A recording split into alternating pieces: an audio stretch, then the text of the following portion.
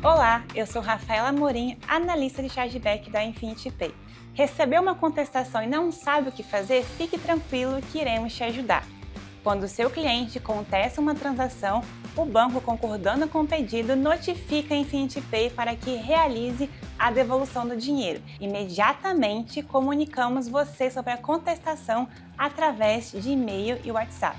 Caso não concorde com a contestação, você terá um prazo para enviar documentos que comprovem que a venda de fato aconteceu. Quanto mais provas você tiver, melhor. O envio deverá ser feito na seção de contestações do app da Infinity Pay. Também é por lá que você irá acompanhar o andamento de todo o processo da contestação.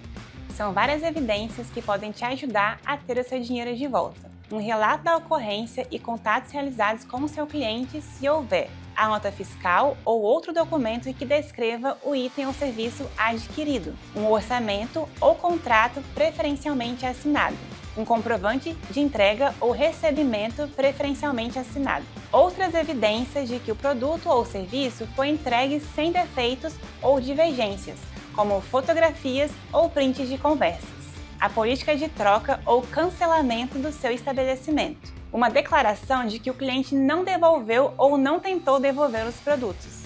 Uma evidência de que o cliente não tentou cancelar a compra de acordo com a política do seu estabelecimento. Caso a documentação não seja enviada dentro do prazo ou seja insuficiente, a Infinity Pay não terá como reverter a cobrança e a contestação do cliente será considerada válida.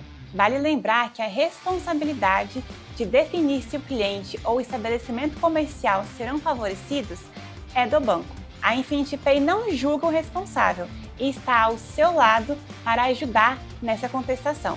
Lembre-se, a melhor forma de prevenção do chargeback é uma análise prévia do cliente e a documentação do processo de negociação. É isso que eu vou contar no próximo vídeo como fazer transações seguras com Infinity Pay. Até lá!